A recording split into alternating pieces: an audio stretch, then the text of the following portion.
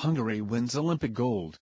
Rudolf Dombi and Roland Kokeny of Hungary won Olympic gold in the men's 1,000-meter K2 on Wednesday, beating their fast-finishing Portuguese rivals in a photo finish.